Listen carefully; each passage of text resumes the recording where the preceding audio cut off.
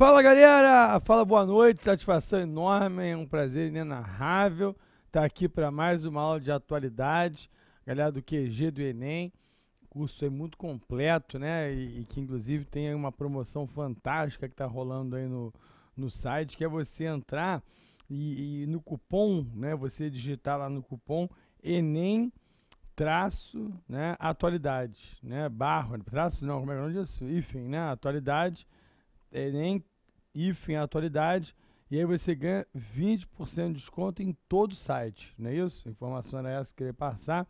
Muito bom mesmo. Galera, olha só, o tempo não para, né? Realmente eu vou falar hoje sobre a Rússia e a questão do debate que volta e meia acontece nos Estados Unidos sobre o controle de armas, né? Sempre há episódios é, de matanças, como esse último episódio na Flórida, onde 14 jovens mais 3 adultos morreram, 17 no total. É, Estados Unidos é o país recordista na quantidade de armas. Eu queria trazer então esse debate, porque evidentemente pode ser um tema de prova, né? o porquê que nos Estados Unidos existe, existe essa cultura, porque existe essa idolatria a uma emenda de 1791, que é a segunda emenda. Então esse é um debate. E por outro lado, o direito de ter arma, será que a, a, emenda fala disso? Será que a interpretação é correta? Que tipo de interpretação existe? Quais são os estados que estão aceitando outro tipo de interpretação? Vamos debater isso aí. E também falar um pouco sobre a Rússia. E como aqui o curso de atualidade, eu não estou dando aula de história, eu não vou falar sobre é, a história da Rússia, né, da Rússia dos Romanov, né, que foi um período longo, dos czares no poder, especialmente da família Romanov. Ah, também não vou falar da Revolução Russa, não é meu objetivo, mas sim falar da Rússia a partir da abertura né, econômica e política empreendida pelo líder Mikhail Gorbachev, mas principalmente falar sobre a situação política a partir da chegada do autocrata Vladimir Putin. E eu queria já, inclusive, adiantar que a, o Putin foi reeleito recentemente. No Brasil, um dos maiores especialistas sobre a Rússia, que é o Ângelo Segrilo, ele aponta, né, um grande estudioso, um grande professor da área, autor de vários livros, o Segrilo, e ele fala que a Rússia não é uma ditadura. Não pode dizer que a Rússia é uma ditadura propriamente dita. Que o Putin não foi eleito só por fraude. Ele foi eleito também por ele por ser popular entende, ele entende que a Rússia é uma democracia imperfeita. Que ele é uma democracia imperfeita e que a Rússia é uma democracia imperfeita e por isso é possível esse tipo de é, manutenção no poder há tanto tempo, já que o Vladimir Putin está no poder desde 99, tá legal? Então esse é um tema importante. Agora, antes de entrar nos assuntos, eu queria abordar rapidamente, assim, ampassando mesmo, algumas coisas importantes que ocorreram aí, e uma delas é amanhã. Né? Essa aula está sendo ao vivo, Vinícius? Está indo para galera do YouTube? Que bom. Amanhã é aniversário de 50 anos da morte do Martin Luther King. 50 anos da morte, do assassinato de Martin Luther King em Memphis, no Tennessee, quando no hotel ele foi morto. Um dos líderes né, da luta pelos direitos civis nos Estados Unidos, o pastor Martin Luther King, que junto com Malcolm X, não exatamente junto, porque não eram aliados, assim, não eram amigos, mas no mesmo campo, com James Baldwin, importante intelectual, Angela Davis e outros mais, foi um grande, importante é, é, batalhador pelo avanço dos direitos civis nos Estados Unidos para os negros, como o direito do voto, como o direito de ter acesso à faculdade, ao colégio, inclusive sobre a escola, sobre o acesso à escola, morreu semana passada a Linda Brown, a menina que o pai, né, não lembro o nome dele, não sei o que, Brown, entrou contra o Ministério da Educação americano, Board of Education, pedindo para que, exigindo que a menina estudasse na escola que era só de meninos. Isso foi em 1954.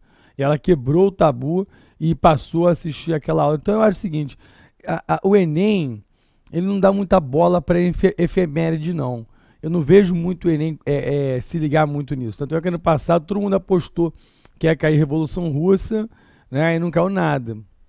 Mas os outros vestibulares, mas os outros vestibulares, se você fazer uma UERJ, se você fazer um vestibular desse tipo, já são vestibulares que gostam dessas datas redondas.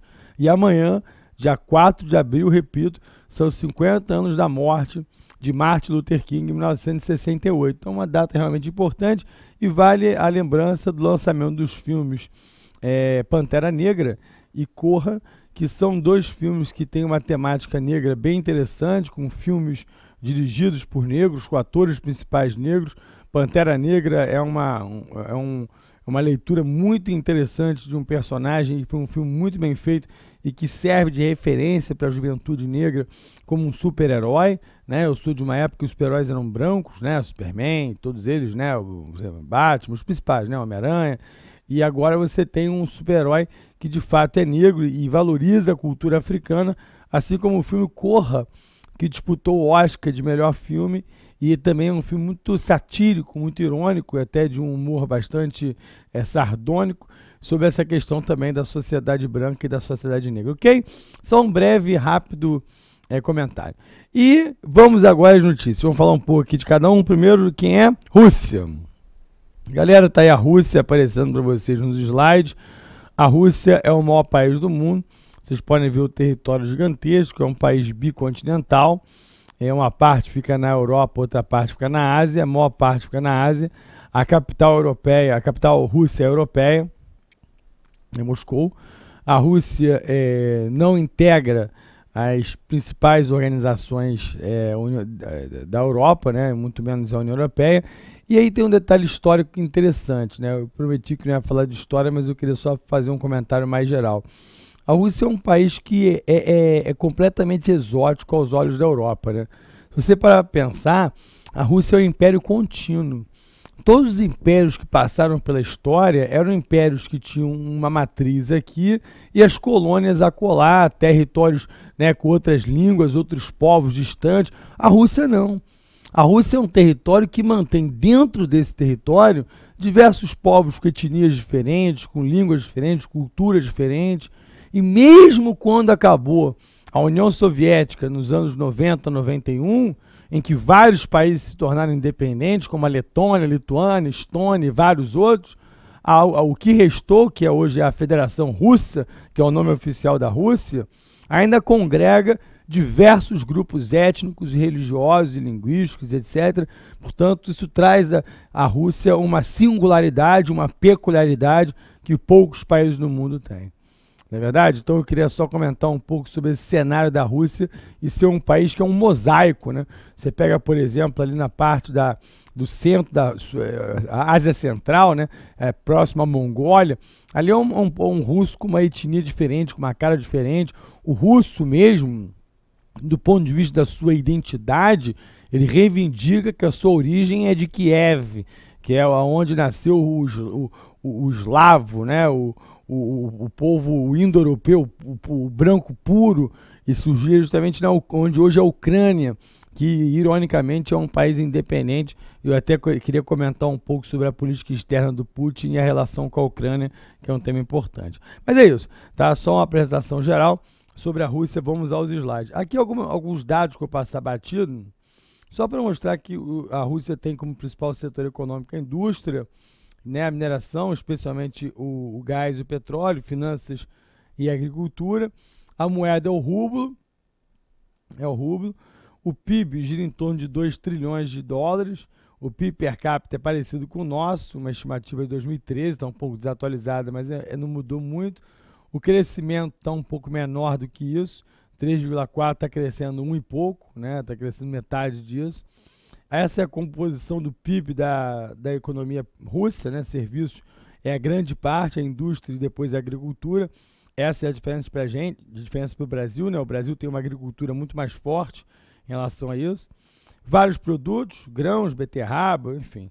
Produtos também industrializados, minérios, petróleo, mas principalmente petróleo e os produtos derivados do petróleo, como metais, gás natural produtos químicos. Isso, isso é o que segura a Rússia. Então eu queria só dizer o seguinte: do ponto de vista econômico, guardem isso.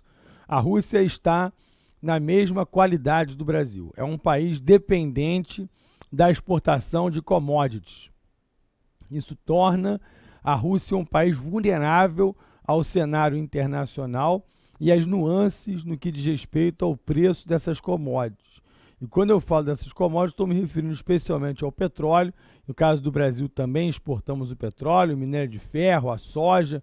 Então, dependemos dos humores do mercado. Se, por exemplo, a grande locomotiva do mundo, que se chama China, desacelera e, e, e deixa de comprar essas commodities e há uma queda no preço desses produtos, é evidente que países como o Brasil e a Rússia sentem. Foi o caso recente do petróleo que despencou e a Rússia sofreu uma crise econômica grave e que também abalou o poder político do Putin. É que a Rússia conseguiu sair dessa crise muito rápido e o Putin conseguiu manter ainda a sua grande influência e a sua popularidade. É o que eu digo. Ele não foi eleito só por corrupção. Ele não está no poder desde 99 só por corrupção. O Putin, na verdade, tem popularidade também. Só para a cronologia, só para você ficar sabendo, é o seguinte: o Putin era vice do Boris Yeltsin. E o Boris Yeltsin tinha problemas de saúde. Não sei se lembram disso, ele tinha problemas de saúde. E aí ele acabou renunciando em 99. Aí o Putin assumiu em 99 até 2000. Aí dormiu até 2004, 2004, 2008. Aí ele não podia continuar. Aí ele colocou no lugar a Dilma Rousseff dele. Um, né, um cara chamado Dmitry Medvedev. Aí o Medvedev ficou quatro anos, entendeu? 2000 e, é, eu já esqueci. 2008, 2002. Aí depois de 2002, o Putin voltou ao Kremlin e mudou o mandato para seis anos. Então ficou até 2018, agora foi reeleito até 2024. É o tempo que o Putin vai ficar se terminar esse mandato. E isso também, se não mudar a Constituição toda de novo, já que a Rússia é uma democracia imperfeita e esses valores democráticos não cabem exatamente no que na cultura russa, é, pode ser que o Putin, por exemplo, bata o recorde do Stalin. Né? Vou até mostrar aqui, o Stalin ficou no poder um tempasso. Né? Olha só, esses são os líderes que ficaram no comando da União Europeia, da União Europeia, da União Soviética durante tanto tempo, né? Aí o Lenin, o fundador da, da Revolução Russa, né, 1917, lembrando que foi um episódio vocês devem ver de vez em quando aí com os professores de história, tanto aqui na equipe de história, mas também nas aulas especiais, sobre a cultura russa, sobre a cultura da Revolução. É um tema sempre abordado. Eu lembro que ano passado tivemos aulas espetaculares sobre o tema, sobre o cinema russo, que é um cinema muito interessante. Eu gosto de cinema mais vanguarda da Rússia. E tem bons filmes como Leviatã, que disputou o Oscar de filme estrangeiro há dois anos, e o diretor voltou a disputar esse ano com um filme também interessantíssimo sobre uma criança que é abandonada pelos pais. Vou dar uma dica aqui no final do, do da aula. Então, os filmes russos são bem legais. E desde a época da Revolução Russa já tem uma filmografia bem interessante. Lembrando que o Lenin foi o líder da Revolução de Outubro né, de 17, que é a Revolução Bolchevique, aquela que derruba o governo provisório, que era justamente o governo comandado pelos mencheviques. Aí depois, né, só voltar aqui o slide, o bigodudo Stalin, né, que ficou de 24 a 53, por enquanto é o mais longevo. Depois Nikita Khrushchev, que é aquele que denuncia os crimes do regime stalinista, criando uma grande confusão na esquerda internacional. Aquela que, que seguia o Stalin e que, a partir das denúncias dos crimes que somavam milhões de pessoas nos campos forçados, nos campos de trabalho, né, nas execuções, na morte de presos políticos. E aí, diante disso, muitos deixaram de seguir a linha stalinista e passaram a seguir um outro tipo de orientação marxista, né, comunista. Então, esse foi um momento importante da história mundial e dentro do cenário da Guerra Fria foi um momento também bastante delicado. E a prova, galera, do Enem adora questões sobre a Guerra Fria, sobre esse período contemporâneo, essa história do século XX como as, as potências é, é, tinham uma dinâmica própria né, durante a Guerra Fria, criação da OTAN, Pacto de Varsóvia, corrida espacial, as guerras indiretas da Guerra Fria. Só voltando aí no final da Guerra Fria, já o período do Brezhnev, né, 6482, terminando não, né, ainda bem a Guerra Fria. Agora sim, já no final, década de 80, Andropov, o Tchernenko e aí o, o, que abriu a União Soviética, né? Que é justamente, pegar aqui a caneta, é Ctrl P, né? Eu sempre esqueço. Que é justamente o caso do Gorbachev, tá vendo? É o cara que abre, começa a abrir a antiga União Soviética com dois tipos de abertura. A perestroika, né, que é a abertura econômica, e a glasnost, a abertura política. Foi a partir dali que a Rússia estrutura, a União Soviética, uma, uma dinâmica de abertura, dá espaço para a oposição política e aí diversas nacionalidades que ali existiam passam a reivindicar a autonomia e começando em 90 com a Letônia, Lituânia e Estônia, no 91 vários outros também a, a, a, conseguem sua independência. E ao final, a Rússia, liderada por Boris Yeltsin, também declara sua independência e ali estava é, terminada a União Soviética. A história da União Soviética e caía, evidentemente, o líder Mikhail Gorbachev, que só estava no poder porque era secretário-geral do Partido Comunista da União Soviética. Com o fim da União Soviética, não tinha mais o que ele governar. E a Rússia viveu uma crise.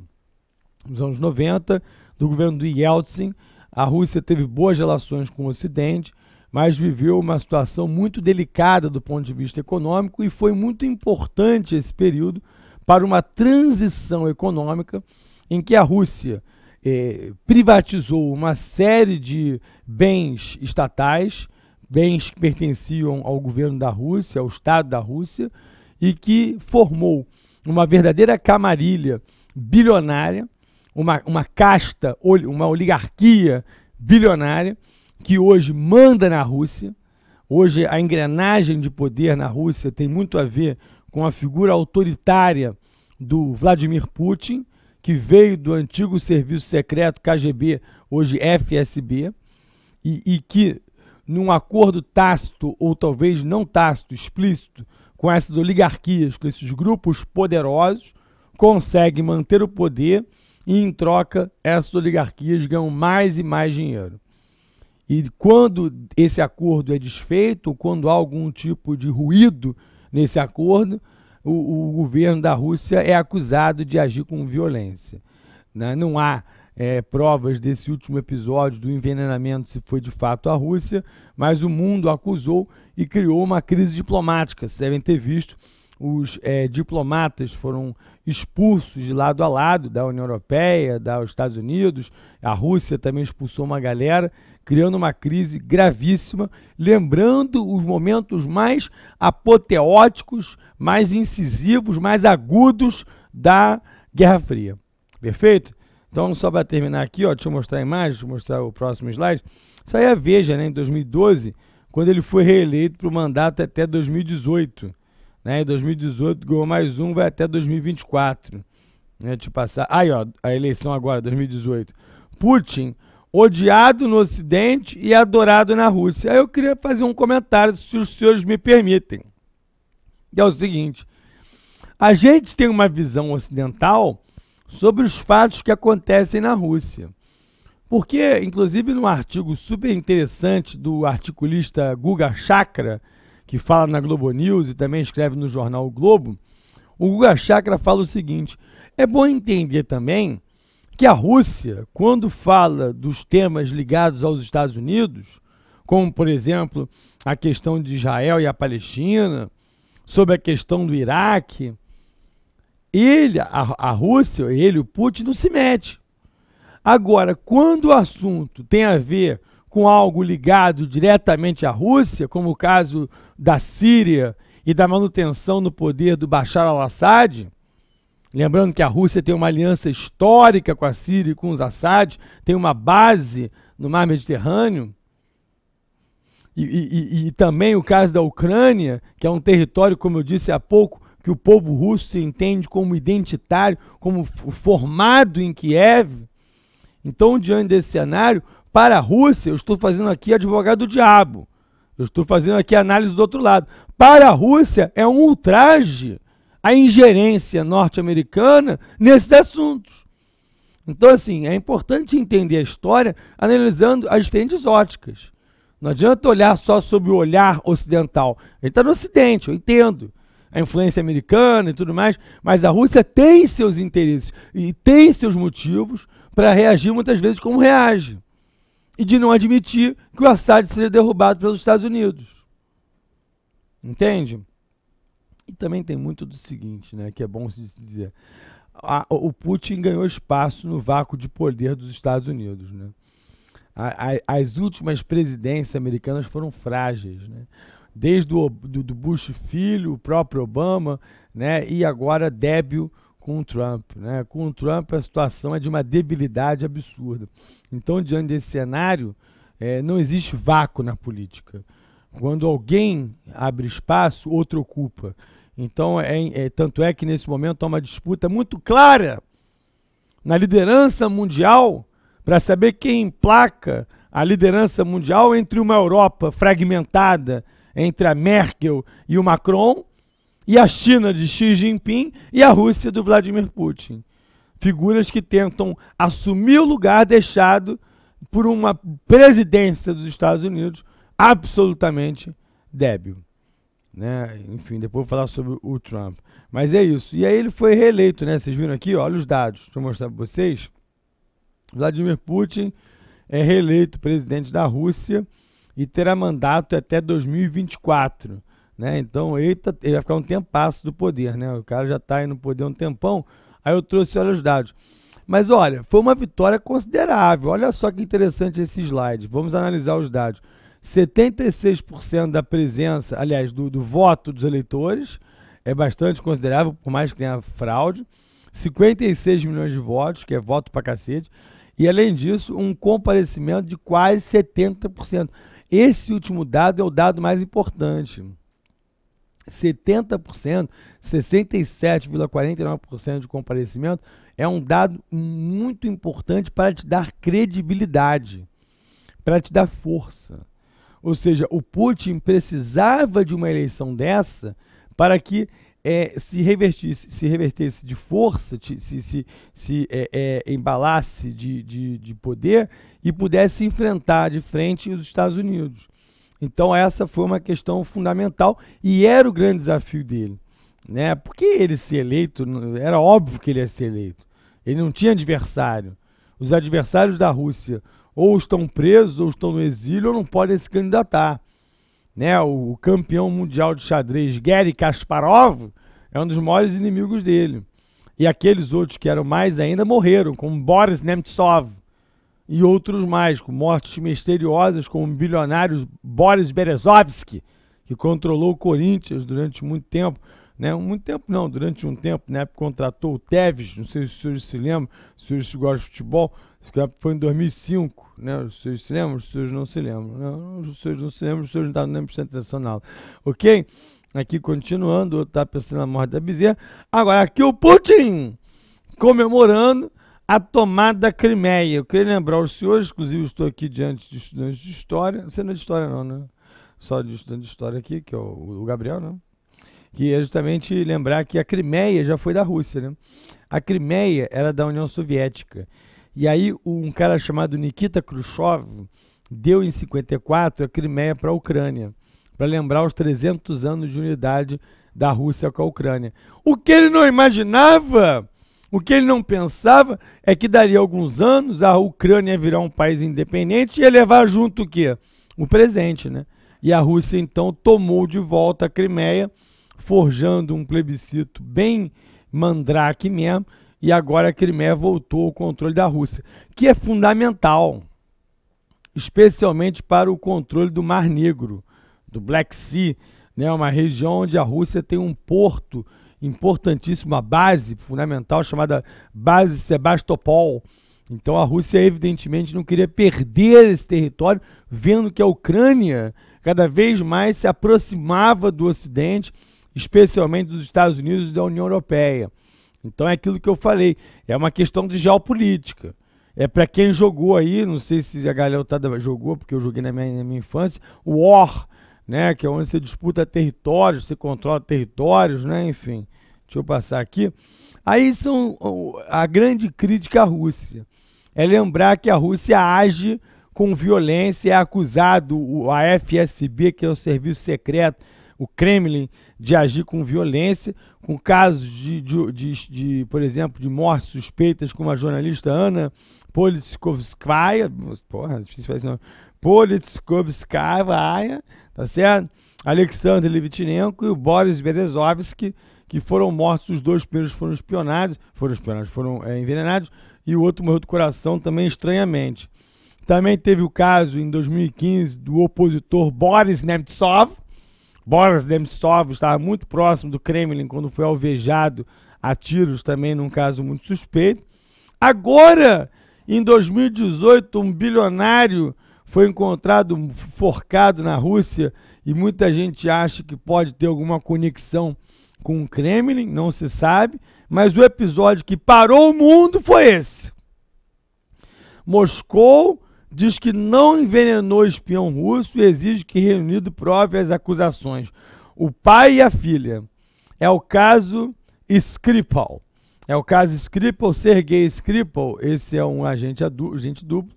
Ele foi expulso da Rússia por, por ter sido descoberto como agente duplo, ele servia também à Inglaterra, voltou a morar em Londres e ele foi envenenado e por uma substância que os ingleses alegaram no primeiro momento que só poderia ser feito na União Soviética e seria, portanto, uma agressão. Porque você usar um elemento químico num outro país, causando inclusive dano a um policial que atendeu as vítimas na hora, é um, é um ultraje.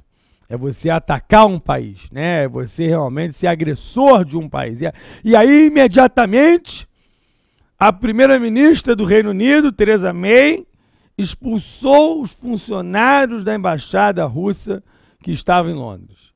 E aí vários países é, é, acompanharam a decisão da Theresa May e expulsaram também seus é, funcionários das embaixadas russas. E aí criou uma crise gravíssima. Agora eu estava antes de entrar no ar, né, dando uma lida nos sites de notícia, estava lendo no American Foreign Policy United States Motherfucker America, que é um tema sobre relações internacionais, um site importante, e ele falando que não há provas, não há provas de que o veneno de fato era da União Soviética. O fato é que causou essa celeuma toda. Deixa eu mostrar para vocês.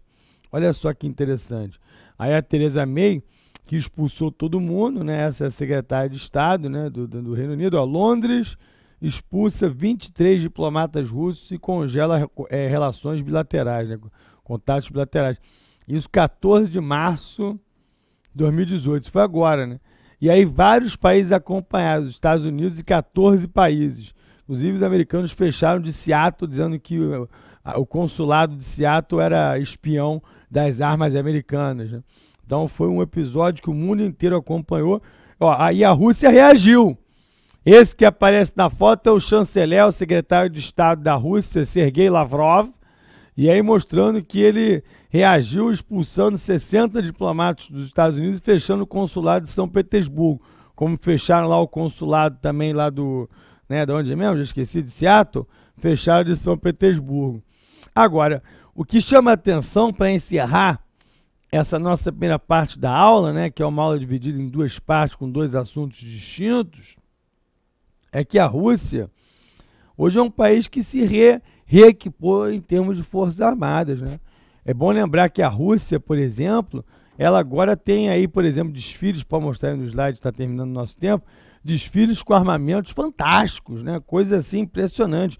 Como, por exemplo, um, o tanque mais moderno do mundo, que é o tanque Armata, segundo os Estados Unidos. Eles testaram agora recentemente um míssil hipersônico. Isso aí no dia 11 de março, hipersônico, é não sei quantas vezes mais a velocidade do som. É uma coisa impressionante. Então os caras estão investindo. Agora, tem os inimigos, né? Do, do, Putin. Esse aí é o campeão de xadrez mundial, que desafiou até a máquina, Gary Kasparov, e ele é o, é, o, é, o, é o, inimigo do Putin. E a Rússia também tem um detalhe interessante, pode ser lembrado na prova, que é uma política de Estado de usar o esporte como forma de angariar popularidade, né? mesmo que isso demande a, a, ao doping, né? Então, diversos casos de doping, inclusive banindo a Rússia da participação dos Jogos Olímpicos de Inverno de Pyeongchang, na Coreia do Sul, e também da Olimpíada de Verão do Rio de Janeiro. Né? Só para terminar aqui, como eu estava dizendo para vocês, filmes russos contemporâneos, muito bom, hein? Leviatã é sensacional, não ganhou, ganhou um filme húngaro chamado é, O Filho de Saul, mas esse aqui foi o que disputou esse ano. Ah, não, eu achei que tivesse trazido, sem querer. É o filme sobre a criança abandonada, que eu esqueci o nome, mas ganhou um filme chileno, né? Uma Mulher Extraordinária, que eu não vi ainda não, que para mim é o melhor filme, é o melhor é o filme estrangeiro. Mas é isso, sobre a Rússia, depois vamos voltar aqui com um debate interessante sobre a questão do controle de armas nos Estados Unidos, especialmente depois desse episódio da matança na Flórida, e que é uma coisa que se repete o tempo todo. Então traremos aqui, inclusive, dicas de filmes também sobre o assunto. Eu espero vocês depois do intervalo. Só um último detalhe: cupom, só colocar lá o, o nome, né? Ou seja, só você colocar Enem, é, traço atualidade, né? O IFEM atualidade, e ganha 20% de todo o site. Não é isso? É isso, galera. Traga um pouquinho. Olá, quegenianos, tudo bem? Eu sou a professora Gabi Jardim, do Linguagens do Zero, curso novo aqui do QG, e eu convidei dois amigos, Elisa e Felipe, para poder testar um pouco dos conhecimentos deles sobre linguagens. Vamos lá, queridos? É, vamos, vamos. Seremos humilhados. então vamos. Vou fazer uma primeira pergunta. Felipe e Elisa, o que é uma prosopopeia? É um animal com certeza. Deve ser ali amigo da centopeia, com certeza. Ah, eu também acho que, acho que eu vi outro dia. Eu Um andando aqui na cozinha? Eu vi. Não, foi no Jardim Botânico. Botânico. Eu até tirei mais fotos.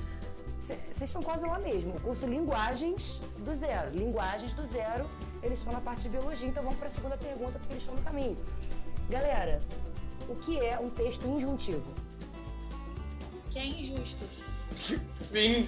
Caraca, total. Muito... É injusto. Tipo, é essa, essa pergunta é injusta. Ela é injuntiva. Injun... Como é que é?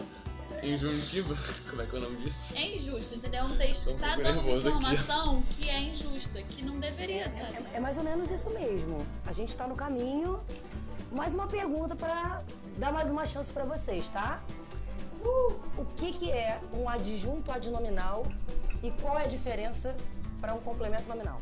Valendo. O adjunto junta, o complemento completa. É Faz isso, sentido. Não é? Faz sentido. Acho que é por aí, mais ou E, menos. e é do nome. Adjunta o nome e completa o nome. Tipo, Felipe o nome e Vielas. sobrenome. Aham. Um é- Caraca, a gente é A muito gente é muito bom, cara. sinistro, maluco. A melhor parte é essa comemoração. Mais uma pergunta para a gente poder fechar esse momento e ver o quanto vocês dominam esse conhecimento. Queridos, me digam quais são as conjunções subordinativas. É só as que subornam. Ideia. São as condições que subornam. Eu queria dizer que a gente acabou o ensino médio tem muito tempo já, tá? Então, assim, releve. Vocês percebem que a gente precisa muito de um curso com foco nessas partes básicas de português e para isso a linguagem do zero chegou. Vamos falar não só das partes gramaticais, mas de vários textos, de vários gêneros textuais que diferem da dissertação argumentativa para muitos vestibulares do país inteiro. Então convido vocês a participarem disso e espero vocês lá. Beijo.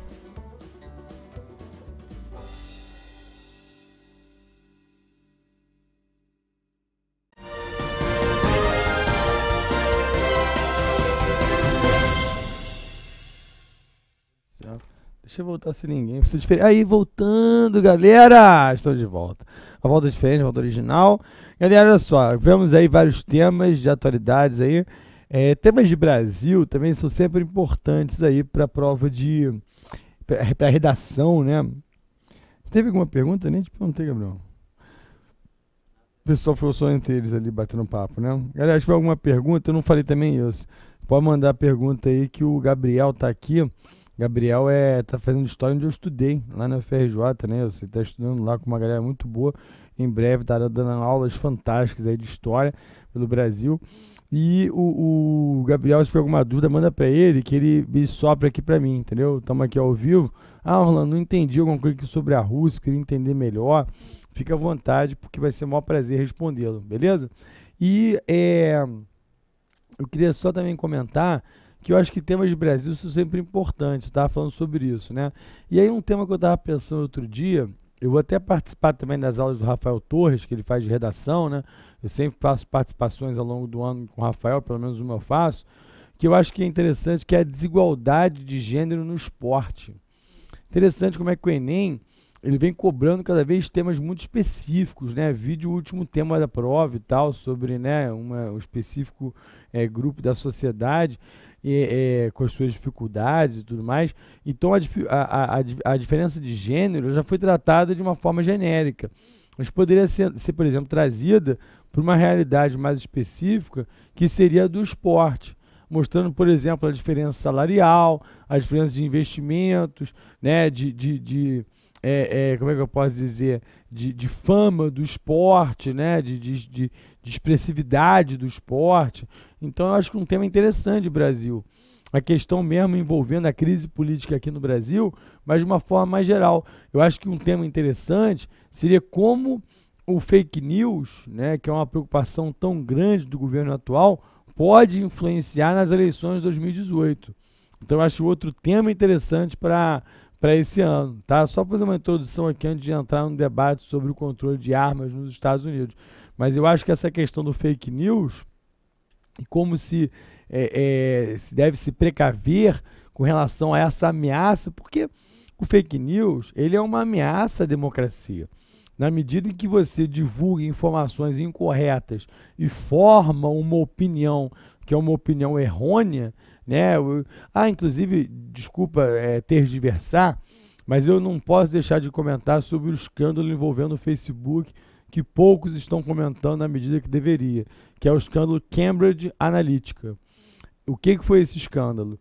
O Facebook, que provavelmente é a maior empresa da história da humanidade até hoje, que tem aí 2 bilhões e está indo para 3 bilhões de usuários e que na verdade é um grande banco de dados com informações minuciosas do que você come, o que você clica, o que você gosta, se você é divorciado, se você é solteiro, se você vai na boate, se você vai na igreja, sabe tudo.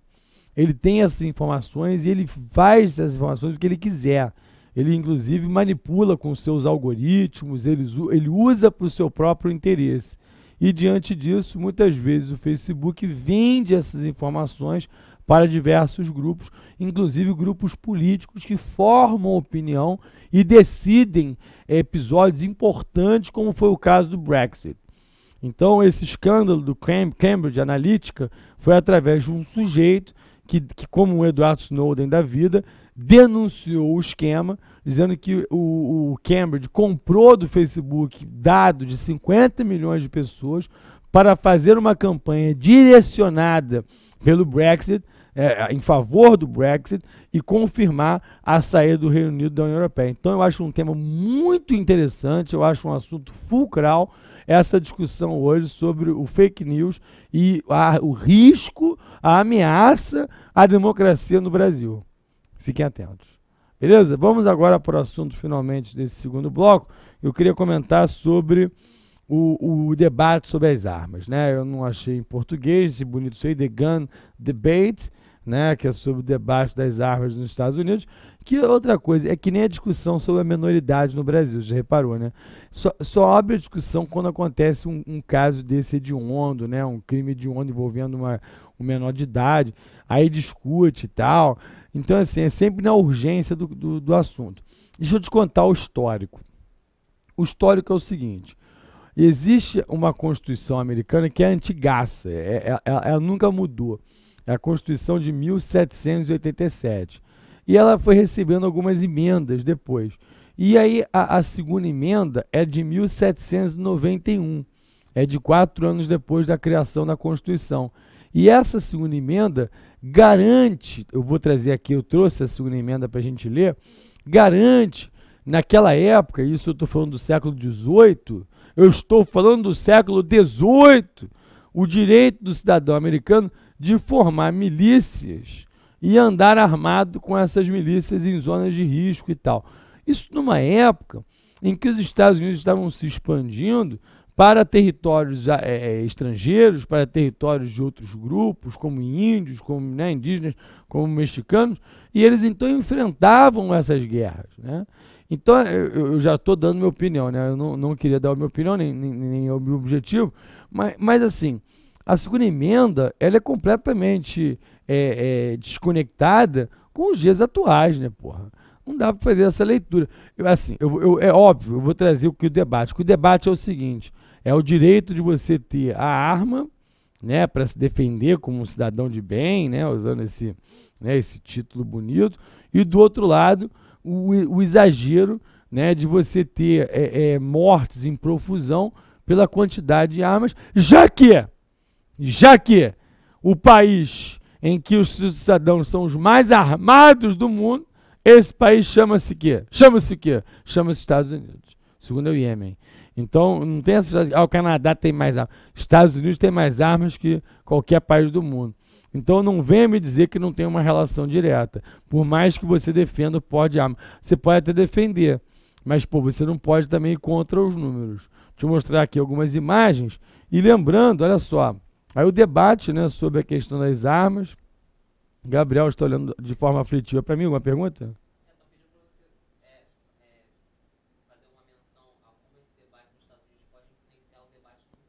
Pô, boa questão. O Gabriel lembrou aqui. Ah, Lores, diz onde é? Lores. Loris, Lores, Lores, Loris. Lores, Loris, Lores, Loris. Muito obrigado pela sua pergunta. Como isso pode influenciar no Brasil? Em tudo, né? Uma boa pergunta sua, sensacional. Porque no Brasil existe a bancada da bala, né? Você sabe que tem uma galera aí, até porque como é que isso pode influenciar? Sabe qual é o segundo maior exportador de armas para os Estados Unidos? É o Brasil. O primeiro é a Áustria. O segundo é o Brasil. Então é evidente que uma maior regulação, um maior controle de armas nos Estados Unidos afetaria o mercado brasileiro de exportação de armas. Nós temos uma empresa grande chamada Taurus, por exemplo, né? mas é bom lembrar que no caso do Brasil, o Brasil está também discutindo no Congresso a flexibilização da, da, da, do Estatuto do Desarmamento que foi aquele estatuto que liberou o porte de armas, mas criou uma série de rigores para que as pessoas que pudessem ter acesso à arma tivessem todo um controle anterior e não acesso irrestrito.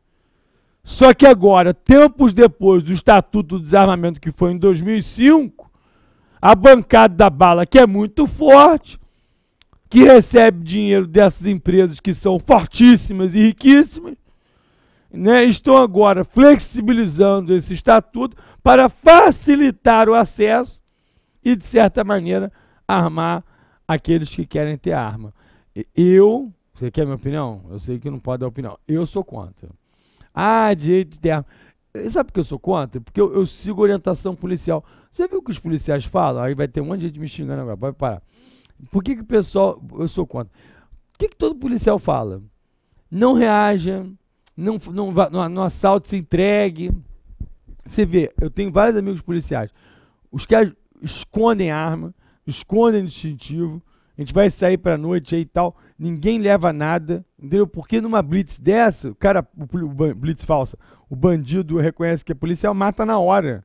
Entendeu? Assim, o cara, não é isso? O cara tá com uma arma, mesmo que não seja policial, o cara tá andando armado, o bandido pega, o que ele faz? Ele mata ou você vai ter que matar o bandido, você vai ter vai, uma situação limite.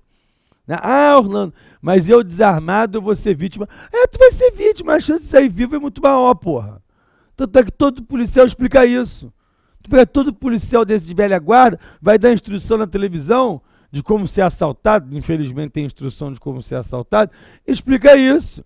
Você se entrega, vai reagir, tu é Rambo, tu é Kate Machone, rapaz, isso é um filme que tinha antigamente, tu não é. Ah, direito de entrar na minha casa. Aí a gente pode até discutir os limites disso. Né? Tem... Eu também sou contra ter em casa? Você vai, entendeu? Tem que ter treinamento.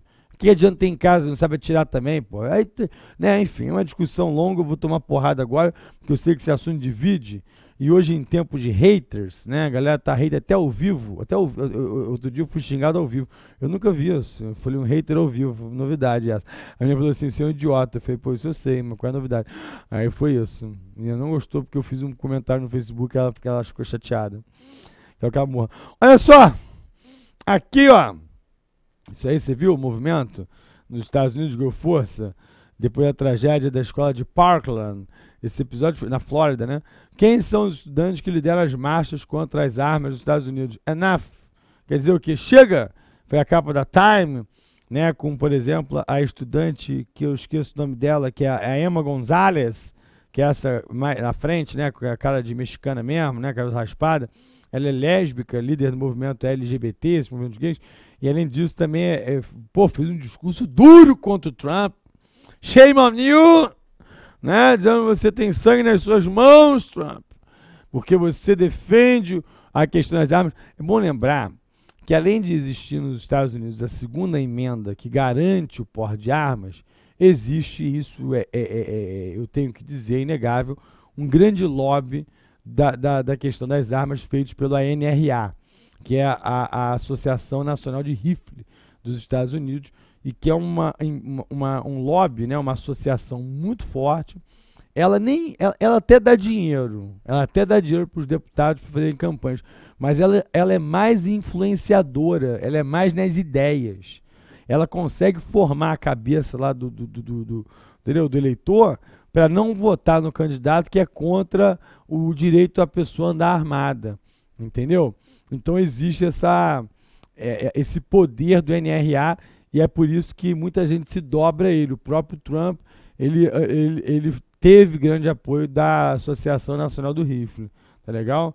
Tá chegando já porrada, Gabriel? Ainda não, né? O pessoal tá calmo. Aí o, o movimento Never Again, que foi criado pelos jovens, né? Oi? Criado pelos jovens, Never Again, que é um movimento para evitar que de novo acontecesse isso que aconteceu na Flórida, né? Agora eu queria mostrar para vocês o histórico. Olha só, galera, só pegando os maiores massacres nos Estados Unidos que eles chamam de shooting, né? Todo ano tem, né? Todo ano tem, mas eu peguei só os maiores. Esse foi o maior de toda a história. Foi em Las Vegas. 59 mortos num show country, quando um sujeito de mais de 50 anos, até um perfil diferente do que normalmente acontece, subiu né, nesse hotel maravilhoso chamado Mandalay Bay e atirou contra a população. Sem nenhuma razão específica, né, uma loucura qualquer, um sujeito completamente né, endoidecido e que teve acesso a, a, a armas e a facilidade que chama atenção em cidades como Vegas é que uma arma dessa é mais barata que um iPhone, né?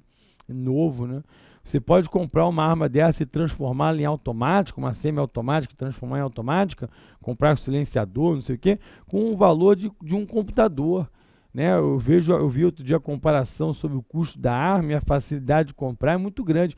Claro, existem algumas regras, eu vou mostrar quais são as regras, mas mesmo as regras dos Estados Unidos elas são burladas. Porque, por exemplo, você tem lá, tem que ter antecedente, não pode ter antecedente, não pode ser maluco, né? exame né, psicotécnico, isso aqui. Mas assim, nas feiras, isso acontece muito, nas feiras de armas, não tem controle. Entendeu? Eu vendo arma para ele, ele vende arma para o um, e o Estado não sabe não tem ideia, entendeu? Eu, eu, eu, não tenho que ter controle nenhum, eu não tenho que checar a informação dele nenhuma se eu estou vendendo minha arma particular para ele. E aí que o cara se arma. Aí o cara vai numa feira dessa, né? Vai num, num estado desse que é bem liberal, né? Se arma até os dentes e aí comete essas atrocidades, né? E, e nos Estados Unidos é, uma, é um caso atrás do outro. Esse é o caso de Las Vegas, olha o outro caso aí, ó. É o caso da Boate Pulse, que é isso? Mulher invade sede. Ah, é, foi hoje, é mesmo. Só notícia aqui: mulher invade sede do YouTube, atira em quatro pessoas e se mata. Isso hoje nos Estados Unidos, trazendo informações. Lucas, não é? Lucas traz informações aqui. Aqui a equipe trabalha junto, impressionante. Aqui, galera, as notícias chegando informação. Isso hoje na sede do YouTube, né? Então é incrível isso. A mulher foi lá e atirou e matou quatro. Você vê, é todo dia. Tanto é que o que chama atenção são esses massacres maiores, mas se você pegar assim duas, três pessoas, cara, é todo dia, eu tava vendo, para fazer essa aula, tava fazendo uma pesquisa, né, dos dados e tal. É, é, se eu pegasse assim os tiroteios diários, é, não dá para contar. É claro, não vai pegar a quantidade de mortos no Brasil pela nossa violência aqui do Rio de Janeiro, do Ceará, está tá acontecendo lá no estado de Ceará, no Brasil inteiro. É óbvio, outra violência. Mas é uma, é uma natureza, é um tipo de violência que tem que ser discutida. Como é que uma sociedade como essa, que tem níveis de desenvolvimento tão avançados, que tem um IDH tão avançado, o índice de desenvolvimento humano, pode ter um número tão grave, tão alto de assassinatos, né? de, de tiroteio. Deixa eu só mostrar aqui mais imagens. Essa é a Boate Pulse, foi em Orlando, né? Você até meu xará, cidade, né? Aí a boate gay, o pessoal, o cara invadiu e matou 49 pessoas lá em Orlando. Aí foi na Virginia Tech, na Universidade de Tecnologia lá da Virgínia, que foram 32 mortos. Aí o episódio Newtown, o rapaz sofria até, o episódio da escola de Sandy Hook, ele sofria até de problemas mentais, né? O rapaz, eu não sei se dá para identificar um pouco na foto, mas ele, enfim, não estava legal. e matou 26 pessoas em Newtown. E esse foi o episódio Parkland, que aconteceu agora na Flórida, em 2018. Foram 17 mortos, 14 jovens e 3 adultos. Né? E o episódio famosíssimo né, de Columbine. Quem não sabe desse episódio, até porque virou filme, bons filmes sobre o episódio, eu queria destacar para os senhores, por exemplo, muito bom mesmo. Precisamos falar sobre Kevin com a Tilda Swinton. Que filme sensacional. Galera, se você não. Esse tem um livro também. Se você não leu o livro ou não viu o filme, não deixe de assistir. É sobre como um garoto, desde a gestação, desde a transa, sabe? Os pais transam lá e tal, desde a concepção, a mãe não gosta do garoto. E aí o garoto cresce num ambiente em que ele detesta a mãe, a mãe detesta ele, lá ele vai matar todo mundo na frente na escola. Né? Eu não estou contando o final do filme, não, porque essa é a sinopse já do filme. Mata todo mundo na escola. Muito bom. Precisamos falar sobre Kevin, que traz essa discussão, mas de uma forma não assim explícita, não é um documentário. Né? Se você quer assistir uma coisa mais. Esse também não é, não é um documentário, esse é Elefante. Esse ganhou o prêmio sobre o é, é, Palma de Ouro, né, do diretor Gus Van Sant, e ganhou a Palma de Ouro porque mostra o episódio de Columbine e o massacre lá em Columbine, muito interessante. Agora, documentário, esse é excelente, Tiros em Columbine, do Michael Moore, também ganhou a Palma de Ouro do Festival de Cannes, é excepcional, denunciando a facilidade de se obter armas nos Estados Unidos, mostra cenas fantásticas como por exemplo, entra num banco e o prêmio para abrir uma conta no banco é, é ganhar uma arma.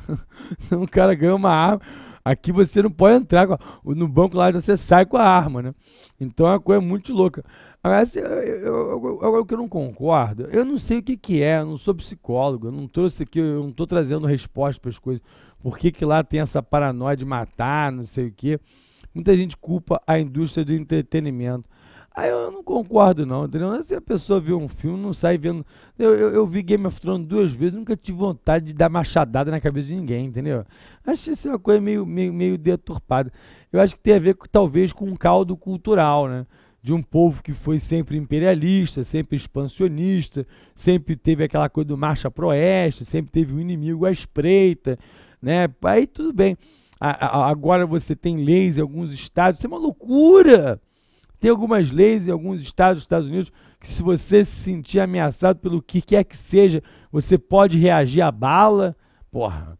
Entendeu? Inclusive, é, é, aí você vê todo o lado racista dos Estados Unidos, que normalmente as vítimas são negras.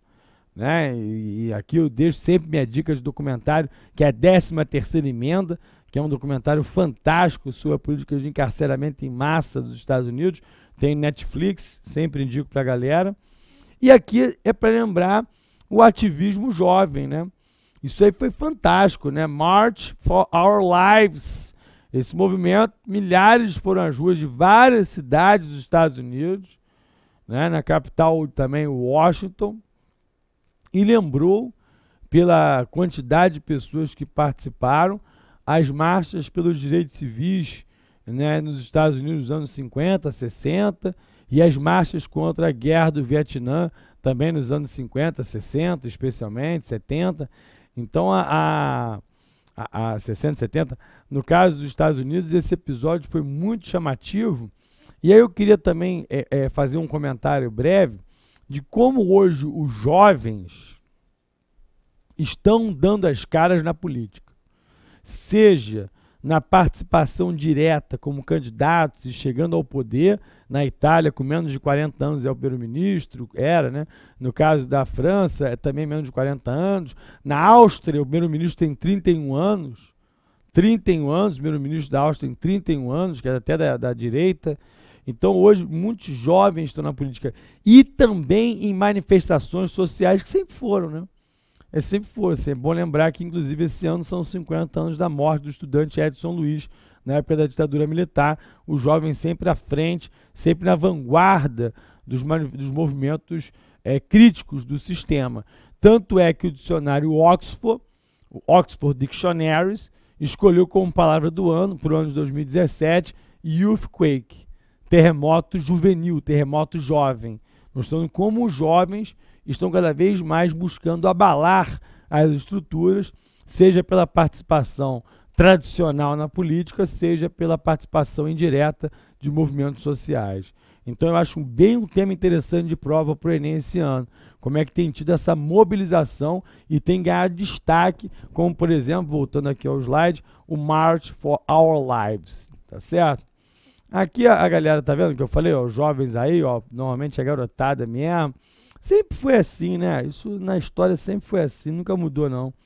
Ó, protect lives, not guns. Então a política contra esse grupo aqui, ó. Esse é o, o a Associação Nacional é, do Rifle, né? Que é o lobby americano, fortíssimo, poderoso. Eles têm uma militância chata pra cacete. Os caras têm uma chatura defendem com unhas e dentes a segunda emenda, né, o direito de ter, de ter arma. Os caras têm, evidentemente, dinheiro e também distribuem grana para manter o lobby deles. E, e, essa associação, ela, ela tem muita influência. Então é ela que segura realmente o direito lá no americano de ter de, de segurar a tal da segunda emenda, né? Não, não, não mudar de jeito nenhum a segunda emenda. Porque é o seguinte, tem coisa que tem que mudar, porra. Uma, a segunda emenda foi do século XVIII, é o que eu estava comentando. Acho que tá até aqui o próximo slide, ó. Ah, isso aqui são alguns gastos do, do, do, da Associação Nacional do Rifle, da, da NRA. Olha só, vem aumentando isso aí em é, milhões de dólares. Mas não é muita coisa não, porque olha só, é 2 mil, 1 um milhão, né? Isso é milhão, não é bilhão não. 2017, 3 milhões. Não é grande coisa, né? Isso aí no Brasil, 3 milhões de dólares, pô, pelo amor de Deus, né? Não é muita coisa. A influência maior é política mesmo. A influência é dizer para o eleitor, ó, o deputado aí, Ted Cruz, o senador Ted Cruz é contra a arma. Ó, o senador Obama, né? O Obama já foi senador, é contra a arma. Então é em cima desse tipo de argumento. Ó, o Bernie Sanders, né? Disputou lá contra Hillary, é contra a arma. Então é, é, muito mais a influência política do que o próprio gasto mesmo. E aqui um dado curioso: olha os países, isso é uma fonte de 2011 da BBC, que mais os habitantes mais têm armas, isso por 100 habitantes. E o, o que mais ganha nos Estados Unidos. Olha que coisa impressionante, quase a totalidade americana tem arma, né? Tem uma arma em casa. O Iêmen está em segundo lugar Suíça em terceiro, Finlândia. Aí você vê um dado interessante aí, né? Porque assim, o Iêmen tudo bem, é um país violento, as pessoas usam as armas, é uma guerra civil constante. Mas a Suíça não, né? Tem arma pra cacete também, tem arma pra caramba, mas não é um país violento nesse nível. É uma discussão que é profunda, não sei o resultado disso. Aí está dizendo que cerca de 40% dos americanos têm arma. É porque ele mostrou 90 armas, é que um americano pode ter mais de uma, né? É, mais de uma arma. Normalmente tem mais de uma arma. Muitas vezes são colecionadores, né? E aí compram normalmente em feiras, como essa que aparece aí ao fundo.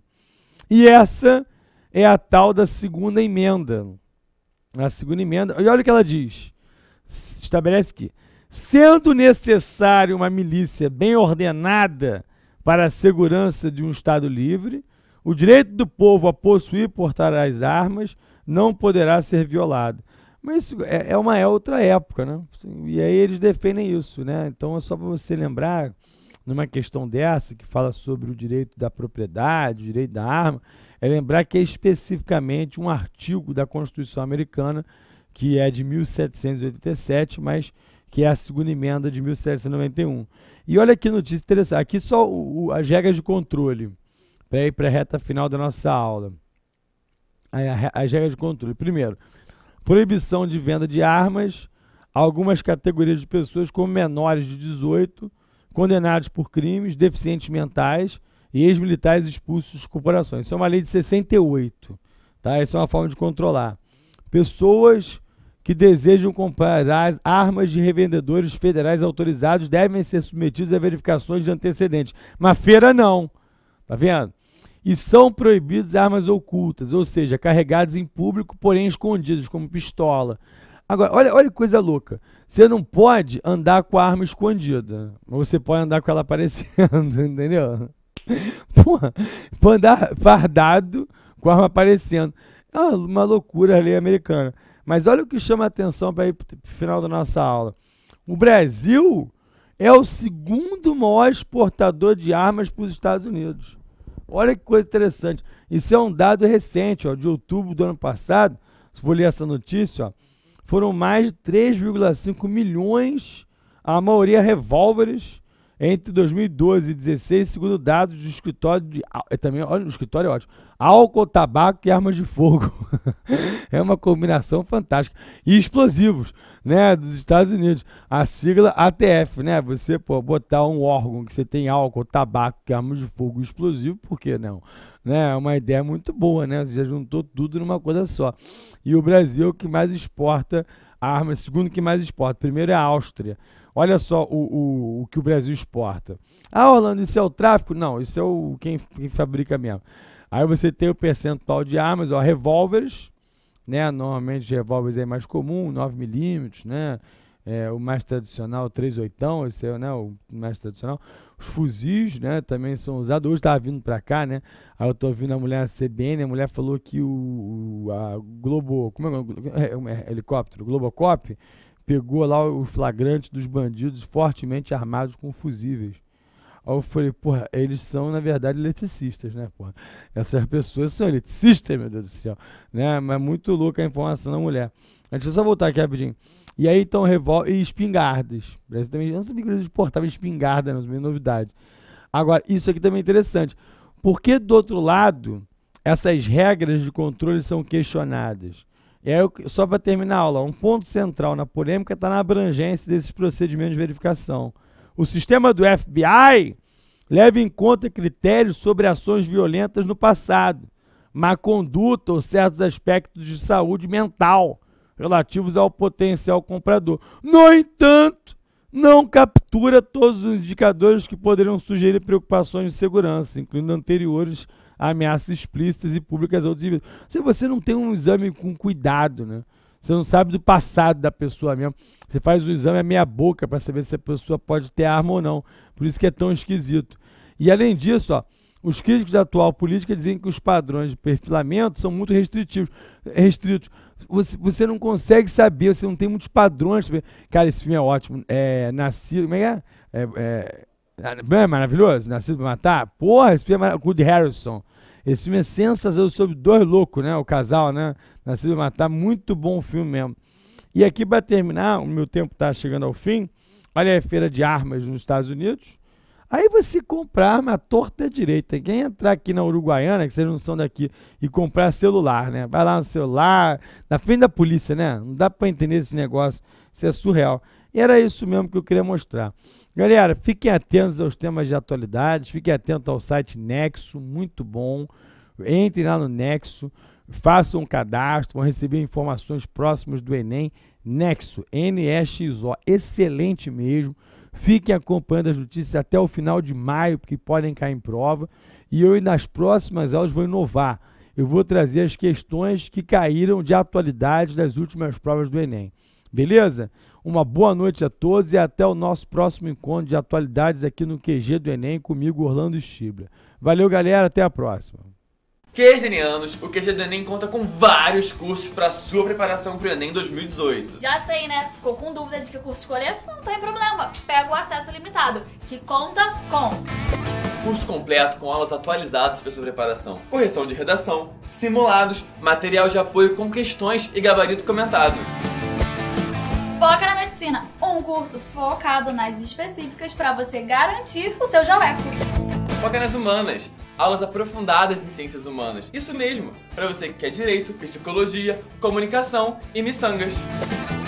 Tudo isso e muito mais.